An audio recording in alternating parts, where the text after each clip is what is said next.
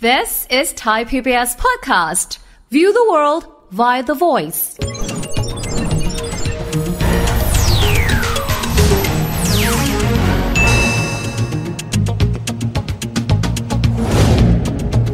สวัสดีครับเข้าสู่เศรษฐกิจติดบ้านนะครับ วันนี้มาคุยเรื่องเศรษฐศาสตร์มหาภาคกันบ้าง เพราะว่าเราไปส่องอัตราการเติบโตนะครับของเศรษฐกิจพูดง่ายการเติบโตของ GDP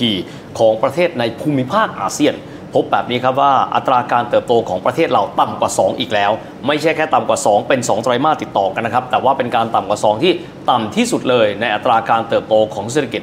กับประเทศอื่น ๆ ในภูมิภาคเดียวกัน สิ่งนี้เซอร์ไพรส์หรือไม่ และมันเกิดอะไรขึ้น และเราสามารถที่จะออกจากวังวนของเศรษฐกิจที่เติบโตทีละน้อยทีละน้อยแบบนี้ได้อย่างไร พูดคุยประเด็นนี้กันนะครับ จากอาจารย์คณะเศรษฐศาสตร์มหาวิทยาลัยธรรมศาสตร์ผู้ช่วยศาสตราจารย์ดรเกียรติอนันต์ล้วนแก้วอาจารย์สวัสดีครับ สวัสดีครับ อาจารย์ครับเห็น GDP บ้านเราเติบโตต่ำกว่า 2 ซึ่งถือว่าเติบโตช้ามากนะฮะครับมาสองไตรมาสติดละ ไตรมาสที่ 4 ปีที่แล้ว ไตรมาสแรกปีนี้ อาจารย์เซอร์ไพรส์ไหมครับ ไม่ครับ เศรษฐกิจไทยเหนื่อยแล้ว ถ้าเป็นคนคือวิ่งมาตลอด แล้วเป็นคนสุขภาพไม่ดีด้วย พอวิ่งนานๆเข้าก็จะช้าลงช้าลงช้าลงช้าลงครับมันก็เหมือนตัวเลข growth นี่แหละครับที่มันจะค่อยๆช้าลงเรื่อยครับๆแล้วเดี๋ยวมันจะหยุดแล้วมันจะติดลบ มันจะเป็นเรื่องที่ไม่ดีเลย ครับ เหมือนเศรษฐกิจไทยเป็นคนแก่ ทีนี้ต้องถามอาจารย์ว่าภาพที่เราเห็นนะครับ เติบโตช้าและช้าเรื้อรังมาค่อนข้างเยอะในขณะที่ประเทศอื่น บางประเทศก็เติบโตค่อนข้างรวดเร็ว บางคนจะบอกแบบนี้ บางประเทศเศรษฐกิจเขาฐานต่ำเขาได้เติบโตเยอะ เช่นกรณีของเวียดนามก็ดี อินโดนีเซียก็ดี มันเป็นแบบนั้นไหมครับอาจารย์คือของเราเนี่ยไม่ได้เป็นเรื่องของฐานครับแต่เป็นเรื่องของความสามารถเราจริงโอ้ๆคือโครงสร้างเศรษฐกิจเราจริงๆ30 ปีที่ผ่านมาแทบจะไม่เปลี่ยนเป็นสุด3113ครับ คือ 30% GDP เนี่ยเกิดจากภาคการผลิตอืมแต่มีคนแค่ 10% แล้วก็มีคน 30%ในภาคเกษตร แต่ผลิตมูลค่าแค่โอ้โห10%โครงสร้างเศรษฐกิจแบบนี้มันผลิตภาพน้อย ผลิตภาพน้อยแน่นอนครับนะครับเพราะฉะนั้นเนี่ยแล้วที่สำคัญคือในช่วงเวลาที่เรามีโอกาสได้ปรับโครงสร้างเราไม่ทำเราใช้วิธีเดิมว่าเอ้ยถ้าจะปรับโครงสร้างคนต้องมีทักษะสูงค่าแรงจะเพิ่มไม่ละฉันใช้แรงงานข้ามชาติแทน เราใช้วิธีการยื้อเวลาโอ้โหเพื่อรักษาโครงสร้างเดิม พอมันยื้อเวลานานๆเข้าเพื่อนที่เขาวิ่งตามหลังก็แซงไปก็ไม่แปลกหรอกคครัรับบอาจารย์เพื่อนเพื่อนที่มาทีหลังแล้ววิ่งแซงอันนี้ผมเข้าใจได้ สิงคโปร์อาจารย์ เป็นประเทศที่มีประชากรมีอยู่แค่นั้นนะพื้นที่เพาะปลูกไม่ต้องพูดถึงการผลิตการเกษตรไม่มี แต่เขาสามารถเติบโตได้เร็วกว่าเราอีกเกิดจากอะไรครับอาจารย์ เพราะเขาไม่มีนั่นแหละเขาเลยโตเร็ว โอ้โห คืออันนี้เป็นคำสาปของประเทศที่มีของเยอะนะนะครับ คือเราก็พยายามคิดแต่ว่าจะเอาของที่มีไปทำอะไรครับแต่เราคิดจากฐานศูนย์ไงว่าไม่มีอะไร เพราะฉะนั้นทำอะไรก็ได้ ถ้าลองใช้คิดแบบเขาละครับว่า ถ้าเกิดเราจะปรับโครงสร้างเศรษฐกิจโดยไม่ได้มองว่าเรามีอะไร แต่ว่าเราควรจะเป็นอะไรอืมแบบนั้นน่ะเราจะสามารถหาโจทย์แล้วก็ตอบโจทย์แบบสิงคโปร์ได้ ครับ ทีนี้เราเห็นอยู่อย่างในงเวลาที่เราอยากจะเติบโตเราจะมักจะพูดว่า ดึงดูดเม็ดเงินการลงทุนต่างประเทศ เช่น Data Center Cloud Service อุตสาหกรรม EV สิ่งแบบนี้มันช่วยเปลี่ยนโครงสร้างไหมครับอาจารย์ หรือว่าเพิ่มขึ้นในโครงสร้างเดิมอาจารย์มองไงครับ มันไม่ได้ช่วยเปลี่ยนครับ เพราะว่า มันจะลงไปแค่จุดที่เป็น EC หรือบางพื้นที่เท่านั้นอ๋อแต่การเปลี่ยนโครงสร้างมันต้องกลับเพิ่มทั้ง 77 จังหวัดครับซึ่งมันยังไม่เกิดขึ้นนะครับ จริงๆ เนี่ยเราต้องบอกว่าถ้าอยากจะได้เงินลงทุนเขาต้องมาเพราะความพิเศษของประเทศไทย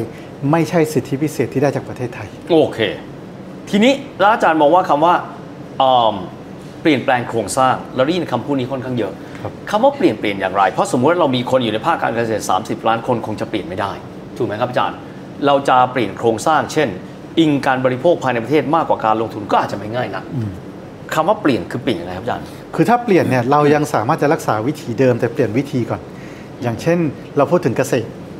ซึ่งเราจะมีเกษตรที่มีคนสูงวัยอยู่กลุ่มหครันึ่บงใช่ไหมครับที่เขาอาจจะไม่สามารถรับเทคโนโลยีใหม่ ๆ ได้ แต่เรามีตรงไหนบ้างที่ทำให้เขาทำเกษตรแล้วใช้พื้นที่น้อยลงมีกำไรมากขึ้น ผลิตภาพเยอะขึ้นลดต้ทุผลิตภาพเยอะขึ้น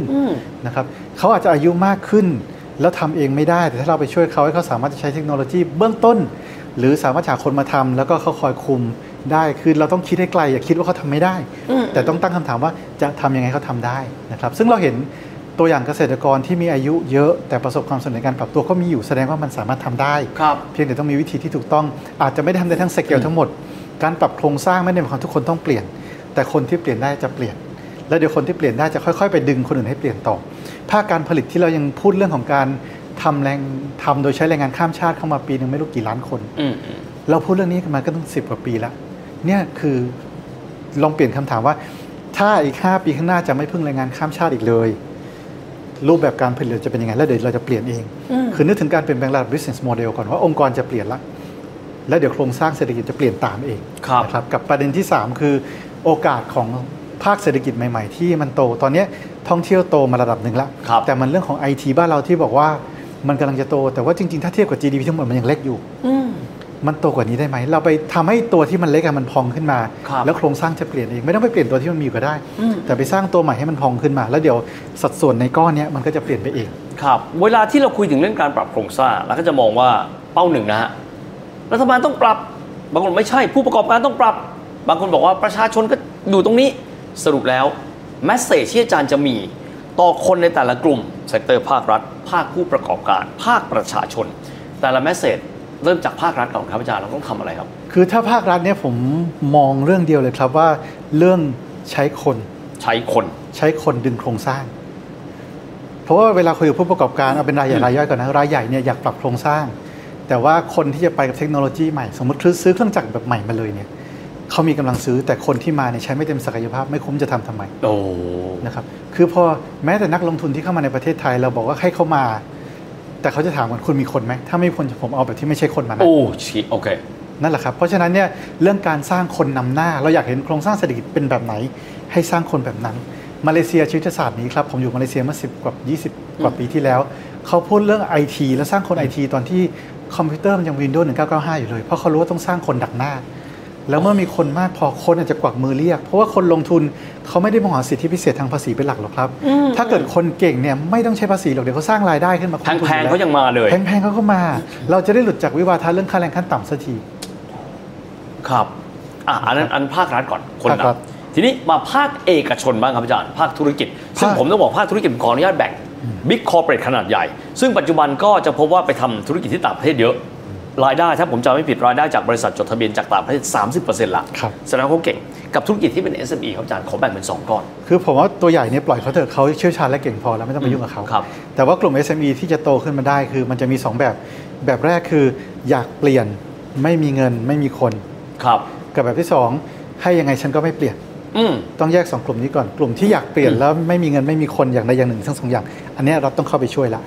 แต่กลุ่มที่ไม่อยากเปลี่ยนปล่อยเขาแต่ต้องให้เขายอมรับด้วยนะว่าคุณไม่เปลี่ยนเมื่อมีวินเมื่อเปิดโอกาสให้ในช่วง 3-4 ปีเนี่ยอันนี้คุณต้องรับผิดชอบตัวเองนะ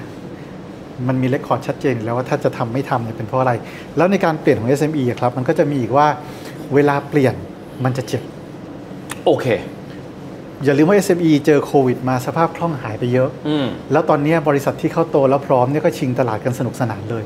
เพราะฉะนั้นการจะเปลี่ยน SME มันจะเปลี่ยนมันต้องมีตลาดการันตีว่าถ้าเปลี่ยนเสร็จแล้วเนี่ยอย่างน้อยช่วงปี 2 ปีแรกอะเขาจะมั่นคง ไม่งั้นเขาไม่กล้าเปลี่ยนหรอกครับจะเปลี่ยนทำไมถ้าเปลี่ยนจะเสี่ยงกว่าเดิม เพราะฉะนั้นนโยบายเรื่องของจะแค่ช่วยคน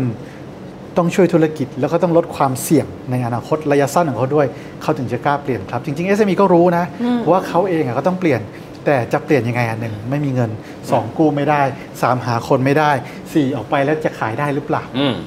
SME 3 ล้านรายครับ ถ้าบอกให้แต่ละคนเปลี่ยนสินค้าจะคล้ายกันเหมือนเดิมอ่าเราจะช่วยยังไงครับนั่นแหละครับ คือโจทย์ที่รัฐกับผู้ประกอบการ SME ต้องมาคิดด้วยกัน ไม่งั้นสุดท้ายก็กลายเป็นว่าแห่เอาผู้ประกอบการร้อยคนมาอบรมเรื่องเดียวกันเขาก็ไปแข่งขายของแบบเดียวกันด้วยวิธีเดียวกันอีก มันก็ไม่ได้ต่างกันเลย ไม่ diversify ไม่ diversify ครับเราจัด cluster ยังไงให้มันมีกลุ่มที่หลากหลาย 3 ล้านมันจัดเป็นได้กี่ clusterครับมันจะเชื่อมโยง supply chain ยังไงไม่ให้เขาแข่งกันเอง แล้วให้เขากลายเป็นพลังที่ร่วมกันแล้วขับเคลื่อนไปข้างหน้าให้ได้ครับ อีกส่วนหนึ่งขาดไม่ได้นะครับ เพราะมีปริมาณเยอะที่สุดเลยคือภาคประชาชนครับอาจารย์ ภาคประชาชนเราก็เชื่อว่าคนรุ่นใหม่เก่ง คนรุ่นใหม่ก็มองว่าตัวเองเก่งไม่มีโอกาส อาจารย์มองว่าอะไรคือเป็นการปลดล็อกความสามารถของคนรุ่นใหม่ ในการที่จะผลักดันปรับโครงสร้างเศรษฐกิจไทยได้ครับ ผมว่าจริงๆ คนทุกรุ่นก็จะมีความพิเศษของตัวเอง เพียงแต่ตอนนี้ความพิเศษมันยังไม่ มันมันเหมือนกับคลื่นความถี่คนละคลื่นกัน คลื่นมันจะทรงพลังเมื่อมันสั่นไหวในลักษณะที่เท่ากัน เพราะฉะนั้น การสื่อสารข้ามรุ่น แล้วก็การที่ทำให้คนแต่ละรุ่นเข้าใจรุ่นที่แตกต่างกันด้วย อย่างเช่นครับคนที่มีอายุมากอย่างผมก็ต้องเข้าใจเด็กรุ่นใหม่มากขึ้นอ่าครับแต่เด็กรุ่นใหม่ก็ต้องเข้าใจความคาดหวังคือ ตอนเนี้ยเรากำลังมีคน 4 เจนอยู่ด้วยกันในตลอดแรงงานครับและแต่ละเจนก็ใช้การเอาตัวเองเป็นสาระว่าฉันมองอย่างนี้ self center เซลเอาฟ์ตัวเซ็นเป็เตนอร์ศูหมนดย์กลาง ใช่ครับ แต่ถ้าเรา success center คือความสำเร็จร่วมกันเนี่ยอยู่ตรงกลางเนี่ยมันจะเกิดการคุยกัน ซึ่งจริงๆ Harvard Business Review ในปีในช่วง ปี 2 ปีมันพูดเรื่องนี้เยอะมากเลยคือ เรื่องปัญหาการสื่อสารแม้แต่บริษัทใหญ่ระดับโลกก็จะเจอครับว่าการสื่อสารมันจูนกันไม่ได้ซึ่งเป็นเรื่องยากด้วยนะนะครับเพราะฉะนั้นถ้าจะเริ่มเนี่ยผมคิดว่าการกล่อมเกลาทางสังคมให้ให้ทุกรุ่นเนี่ยเข้ามาอยู่แล้วเห็นอกเห็นใจกัน เข้าใจมีเอมพัตตีต่อกันนะ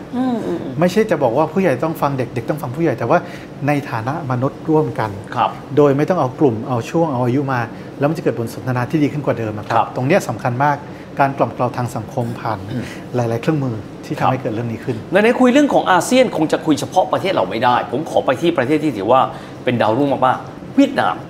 เขาผ่านช่วงนี้มาได้จากสาเหตุเพราะอะไรครับอาจารย์เขาสามารถเติบโตได้เนี่ยแม้กระทั้งช่วงโควิด ผมจำได้ช่วงก่อนโควิดเขาอยู่ครึ่งหนึ่งเศรษฐกิจไทย ตอนนี้คือประมาณ 75%เศรษฐกิจไทยเขาทำอะไรครับอาจารย์คือต้องเรียกว่าเขาคว้าโอกาสเพราะคนเขาพร้อม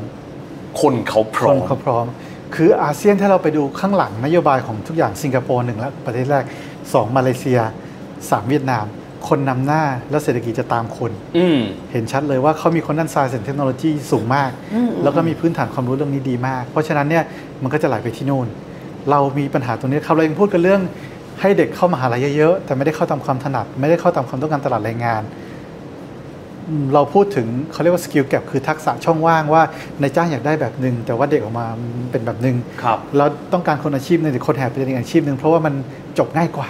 อืมอืมอืมมันขาดของพวกนี้ครับ ที่มันทำให้สุดท้ายแล้วเนี่ยเรามีคนจบปริญญาตรีเยอะจบอาชีวะเยอะแต่นายจ้างก็ยังลังเลที่จะจ้างคนเหล่านี้ หรือว่านักลงทุนต่างชาติก็บอกเอ๊ะ จะได้คนเหมือนที่ฉันต้องการไหมครับ ในโลกที่เคลื่อนไป tech ครับอาจารย์ เด็กไทยบางกลุ่มก็ต้องบอกว่า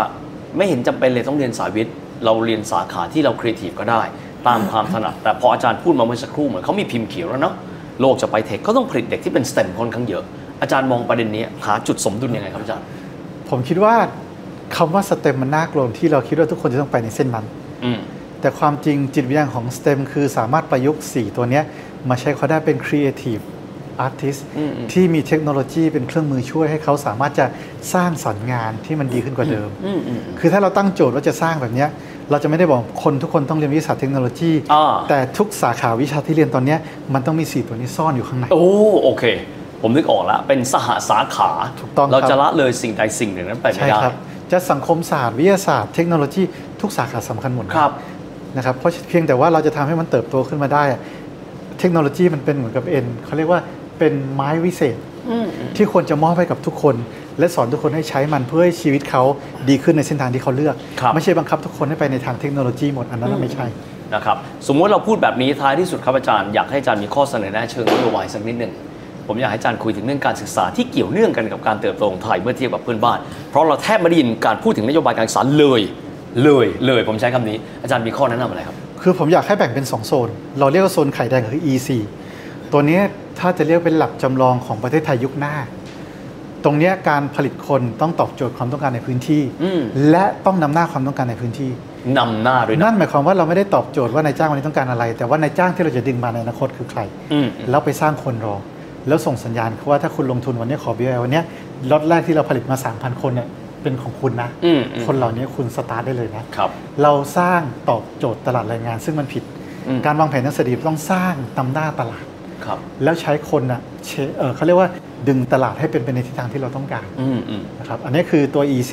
ที่ต้องมีระบบการผลิตคนเฉพาะอ่าเพื่อนำหน้าเพราะเป็นเหมือนกับแซนด์บ็อกซ์ของประเทศแล้วอันล่ะนี้อันนี้สามจังหวัดนี่นะฮะสามจังหวัดโอเคนี้นะครับ แต่ในพื้นที่อื่นๆครับ ผมคิดว่ามันยังต้องแยกเป็นสองโซนอีก คือโซนที่เป็นไข่แดงของแต่ละภาคอืมเชียงใหม่ภูเก็ต สุราษฎร์อุดร ขอนแก่น นครราชสีมานะครับพิษณุโลกสุโขทัยลักษณะเนี้ยกลุ่มเนี้ยที่จะเป็นแม่เหล็กกลางเนี่ย มันต้องสร้างกำลังคนแบบที่สามารถทำให้เศรษฐกิจในกลุ่มนั้นนะเข้มแข็งขึ้นมาได้อืมคืออย่าไปสร้างคน4ี่ห้าจังหวัดแข่งกัน แต่แต่ละจังหวัดมีจุดเด่น แล้วจะสร้างคนยังไงให้ คนเหล่านี้ไปกระตุ้น7 8จังหวัดที่อยู่รายรอบให้มันเติบโตได้ ซึ่งมันจะต้องเป็นโจทย์ที่กลุ่มจังหวัดต้องคิดร่วมกัน แล้วสร้างคนตอบโจทย์กลุ่มจังหวัด อย่าหวังว่ากลุ่มนี้จะส่งออกเลยครับมันไม่คุ้มค่าเดินทางอยู่แล้วนะครับอืมแต่ว่าการวาง positioning เป็น cluster 7 8 cluster ด้วยกันเนี่ยเราจะวางยังไง และจะสร้างคนแบบนั้นขึ้นมาได้ยังไงเพ ราะว่าถ้าสร้างแบบนี้ครับตลาดรวมมันจะใหญ่พอจะทำให้คนคุ้มทุนได้อืมชัดเจนมาก วันนี้ขอบคุณอาจารย์มากนะครับครับผมพาเราไปทั่วไทยหรือทั่วอาเซียนขอบคุณมากครับอาจารย์ครับครับ ผมสวัสดีครับแล้วถ้าเกิดท่านมีความสนใจนะครับ เรื่องราวทางเศรษฐกิจแบบนี้นะครับ ท่านสามารถติดตามเพิ่มเติมได้นะครับ ที่เพจสารดีไทย PBS แล้วก็ทุกช่องทางเลยของเราไทย PBS ด้วยสำหรับวันนี้เวลาหมดแล้ว แล้วพบกันใหม่โอกาสหน้า สวัสดีครับ